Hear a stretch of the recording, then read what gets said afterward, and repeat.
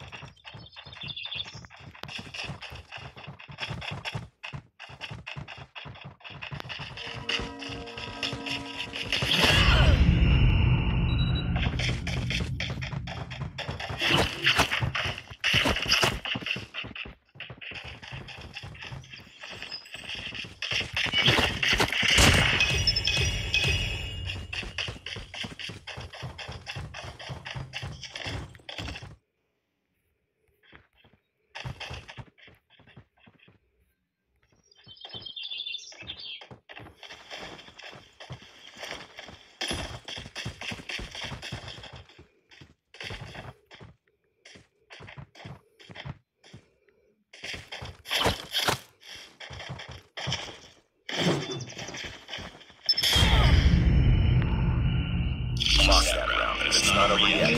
Ready up.